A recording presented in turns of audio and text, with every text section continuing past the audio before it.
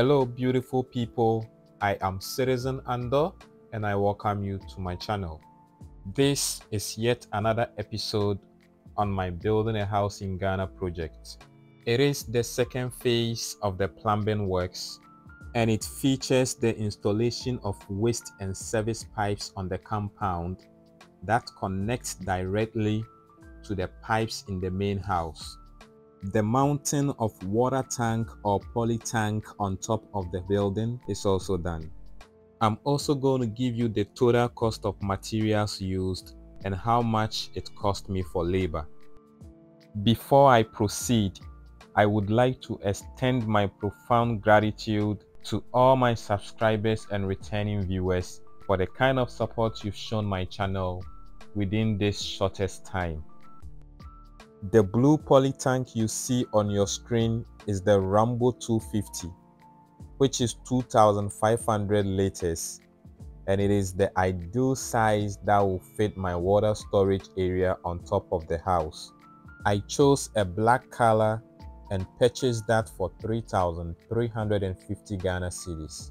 It cost me 7,349 Ghana cedis for all the pipes and accessories as you're going to see in the video. I paid my plumber Mr. Entry and his guys 2,500 Ghana cedis as labor. This was a reduced price from him by way of thanking me for posting his videos on my channel and getting jobs out of that.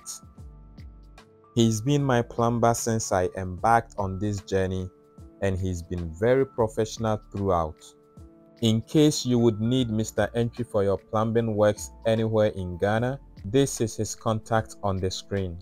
I also spent 200 Ghana cedis on two water filters for the poly tank and 200 Ghana cedis on transportation, summing it all up to 13,599 cedis, which was equivalent to $937 at an exchange rate of $14.50. The big gray pipes you see here are the waste pipes.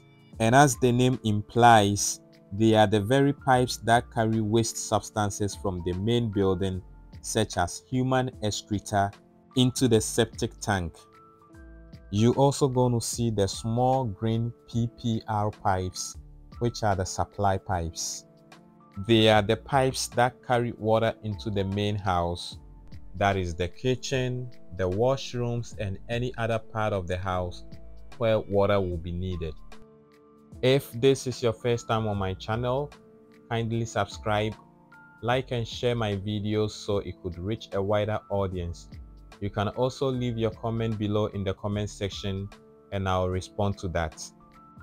In case you haven't watched the phase 1 of my plumbing works, you can click on this notification on the top right corner of this video or watch the episode number 19 of my videos to watch that.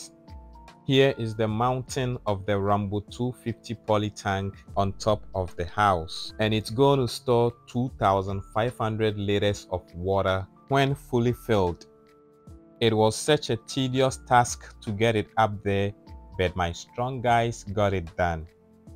My supply pipes are not going to be connected to the Ghana Water Company, which supplies water into various homes in Ghana, because I already have a borehole drilled in my house, which is going to be of a great use. Installation of the submersible water pump for my borehole is done and I'm going to bring you a video of that. This is where my tank is and is going to be the storage and distributor of life, which is water into my house. And my guys are getting it ready to be connected to the borehole. Do permit me to end my submissions here so you can enjoy the rest of this episode. Do not skip this video yet because there is a lot more to show. And always remember that the greatest glory in living lies not in never falling, but in rising every time we fall. Do well to come back again as I have a lot more interesting videos coming up. But until then, take care of yourself out there. See you later. Hasta la vista.